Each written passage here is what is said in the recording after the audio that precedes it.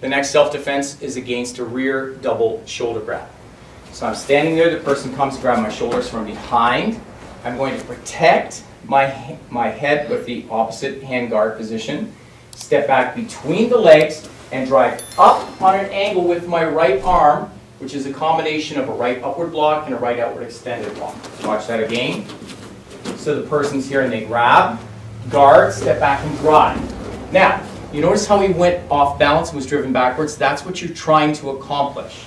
Also make sure in this technique, that when he grabs, don't block so high in the arm that his elbow bends, because if his elbow bends, you'll walk right into it. So he grabs, guard, step back and drive up.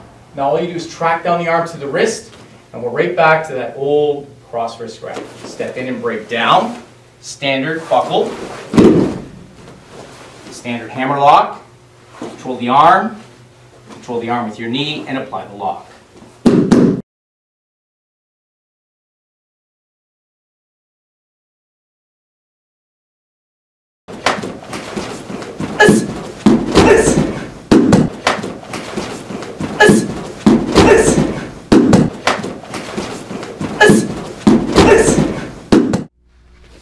The next self-defense, captured branches blind. So once again, it's both shoulders, double grab, blind means he's behind me. So as he grabs me like this, in the manipulation self-defense, you learn to step back and drive up to control that arm. The other reason why we teach you to step back in this technique is a lot of times people, when they come and grab you from behind, aren't just going to grab you. They're probably going to grab and pull you or push you. The worst scenario to be in is to be pulled because you're losing your balance. So as the person grabs, if he steps back and pulls me, by stepping back, it allows me to keep my balance. If he was to take me forward, you would step ahead and then you could do the same idea. Okay? So in the ideal face, you just got to hold. So captured branches blind. Step back between the legs and drive up, which exposes the ribs. You do a one-third reverse punch into those ribs here. Pow, that's going to lean him forward. The right hand will track down, grabbing the wrist. The left hand will palm the back of his head. The right leg will skip up and kick into the groin with a front kick. That's all three things at once, okay? So from here, block and strike. Step up, pull, kick and hit, go forward, and this is up this way with an upward lifting back knuckle into the face.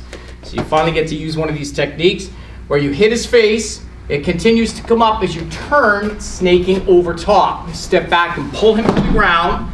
Drop your weight with the left knee into the chest, into the rib area, and punch his face here. Ha. Then kick through his face and cover out. Grabs behind from this position. You're going to step back, lift and punch this way. So you hit, bam, right there. Skip up, pull, palm, and kick here, go forward, and hit his face. Now, as you're hitting his face with that upward lifting back knuckle, you don't keep your left hand on his head, it'll actually slide to his shoulder. This will snake up into a claw as you step back and pull him to the ground. Left knee, left punch, and kick. Okay? Just want to make the point with this technique that a lot of times in many martial arts, the attack will come, they'll do a block, they'll do a punch. They'll do a block, they'll do a strike. In Kenjute, we try and get you to strike with your movements so you're immediately responding. Way back to thrusting hammer outside. When you slipped, you didn't slip, then hit, you slipped and hit. Thrusting hammer inside. You slipped, you didn't just punch, then you slipped and punched. Same idea with this technique. When he's here, as I step back and lift, there's the punch. So I've done something immediately. And I'm always doing more than one strike whenever I can to keep the guy busy. Okay? Captured, branches, blind.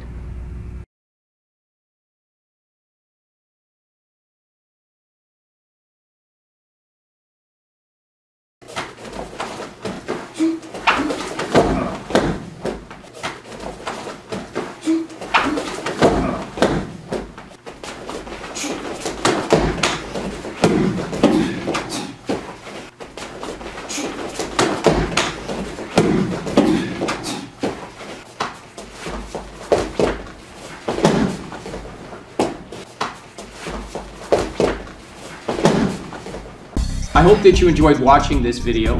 If you would like to learn more about what we do, please visit our website at www.kenjuteinternational.com where you too can get involved with Kenjute's online learning program from anywhere in the world. Thanks for watching.